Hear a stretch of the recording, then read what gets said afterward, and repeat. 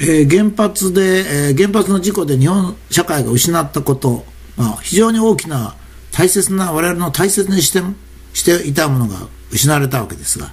2番目は順法精神ですね、まあ、日本人は規則を守るということでは、まあ、世界でもトップクラスの誠実さを持っていました、ま、これは例えば借りたお金は返すとかですね。どんなに辛くても並んでる順番を崩さないというなどですね。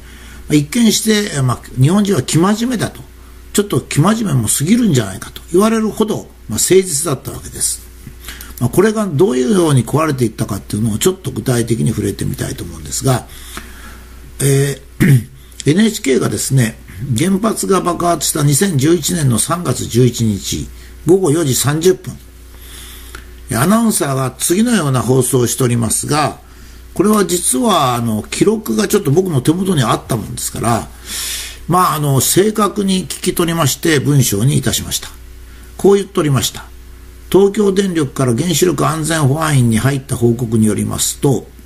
福島第一原子力発電所の敷地境界付近で放射線を測ったところ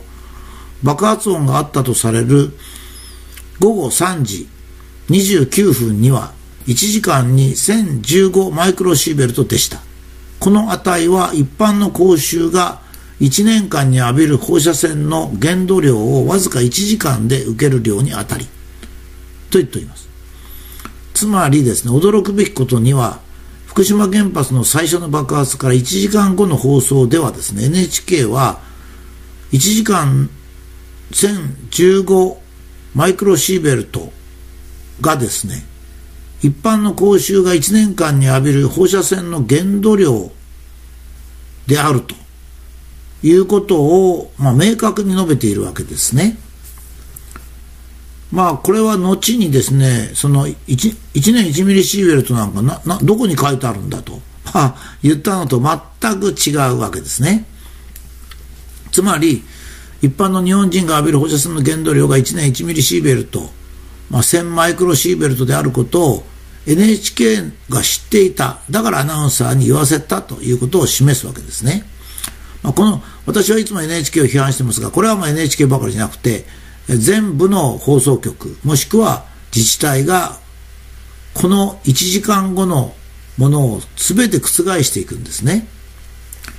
えー、後にですね、もちろん NHK を始めてた日本中で専門家もマスコミも自治体も被爆の限度量は決まっていないとかですね、1年1ミリなどどこにも書いていないとか、100ミリシーベルトまで大丈夫だなどと言ったわけで、まあ、さらに私はまあ気にはしてませんが、私などは1年1ミリシーベルト男武田邦彦という記事を週刊新潮が出しまして、ま繰り返し個人をバッシングするという挙に出たわけですね。いや、ネットの個人が私をバッシングするっていうのはまああり得ることなんですが、社会の後期とされる大手のマスコミが一個人をですね、法律を守るだとか基準を守るとは何事かというふうにバッシングしたわけですから、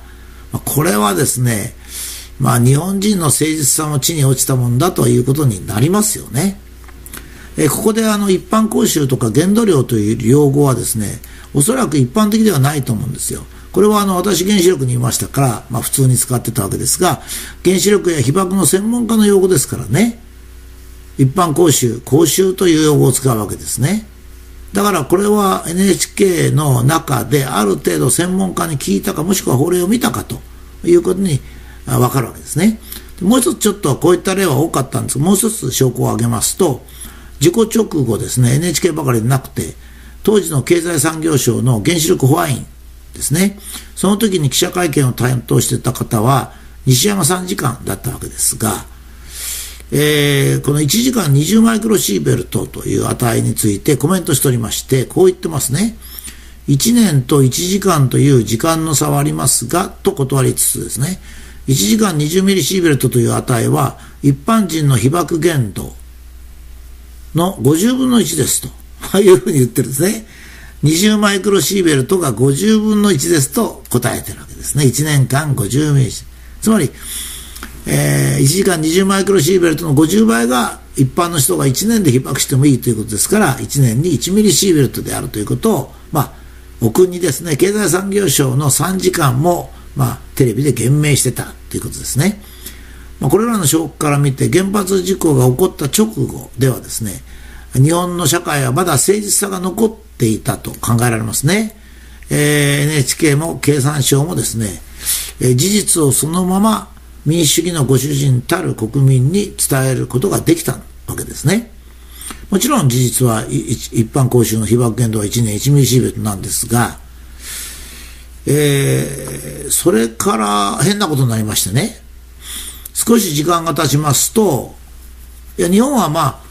えー、民主主義ですから誰か殿様が指示したってことないんですけども、日本政府はですね、間違いが正しいというようになったんですね。それで、間違いを言う人が正しいことを言う人をバッシングするという逆転現象が、まあ、生じてですね、えー、同じ、まあ、NHK とか週刊新潮、まあ、経産省あたりがですね、えー、どういう理由でガラッと態度を変えたのかと、誰に言われたのか、それと自らの判断なのか、まあ、今 NHK の茂木会長がですね、えー、従軍慰安婦について NHK は独自に放送しないと。政府が言ったらその後を受けてやるというふうに言って、まあ、大変な非難を受けて、まあ、いますけどね。だけどもそれよりかこっちの方がひどいでしょうね。えー、まあ一度大きく道徳が崩れますともちろん回復するのは大変で坂を転が落ちるように順法精神を失っていきます。つまり自分の都合のいいことなら何でも言っていい法律に関係ない。それで無視されたのが土壌の汚染基準ですね。これも無視されました。食品基準も今、食品だけなら1年1ミリシベルトという状態で、食品以外の被爆がありますから、これもダメですね。それから汚染物質の表示をしないというようなことなど、次々と、基準ないしはそれに基づく法律が無視されるようになりました。この無視されるようになったのは実は社会全部が無視されるようになったわけでもないというのがまた一つの問題ですね。えちょうどあの2011年の8月頃、つまりあみんながまあいわば寝返ってですね、最初に1年1ミリシーベルトが一般公衆の被爆限度だと言いながら、そんなものはないよとか、100ミリまで大丈夫だよっていうふうに裏切った頃ですね、14歳の少年が非常にわずかな放射性物質を作った蛍光塗料ですね。だからもうほんの少ないんですが、それがキーを扱ったとされて補導されてましたね。つまり相手が弱いと見ると法律を適用し、強いと思うと変身すると。まあ、こういう社会をですね、日本、日本政府、日本はですね、原発事故からもたさもたらされてしまった。ちょっと悲しいですよね。やっぱあれほどちゃんとしてた日本。まあ、よく中国とかが、えー、法律を守らないとか、えー、ちゃんと並ばないとか言っていますけどね。まあ、この原発の事故、それで、この頃ですね、変えた後のものが法律に守られてるとか言う人がいて、またややこしくなっちゃったんですが、私がまここで証拠を挙げたようにですね、NHK も経産省も事故の終わった直後は、1年1ミリシーベルトが限度ですよと、こう言ってたわけですね。もちろん土壌基準とかそういったものを全部、現在は法律違反の状態にありますね。ですから、えー、このことは非常に大きなボディーブローとして今後の日本の発展に、え阻害、発展の阻害要因になるんじゃないかと私は心配してるんです。やっぱり今までの、まあ、日本の、まあ、戦争も強かったし、産業も強かったし、学問も良かった。その原因はですね、やっぱり私は国民全体の誠実さだったと思うんですね。嘘をつかない、法律を守るっていう、そういうことがですね、非常にこう、いい国をもたらし、あの、作ってきたんですけども。まあ、それに対してですね、だから、まあ、これを回復するには NHK も経産省もですね、まあ、そこら辺の変化の過程をちゃんと説明するべきですね。国民が主人ですから。まあ、変化したには変化したの理由があると思うんですね。1年1ミリシーベルトの途中で消してしまったには理由があると思うんですね。これは ICRP が20ミリと言ったっていうのはこれ理由になりませんね。これは外国の NPO ですから。そうじゃなくて日本が、責任ある日本の人がどう判断したかということをですね、やっぱりきちっと説明して誠実性のある社会にを取り戻したいと思うんですね。自分が損する、得するということを NHK も経産省も考えないで、一つ日本愛国精神を発揮してですね、そして日本が再び順法精神に満ちた国になるように、まあ、努力をしてもらいたいと私は希望しています。えー、これで終わります。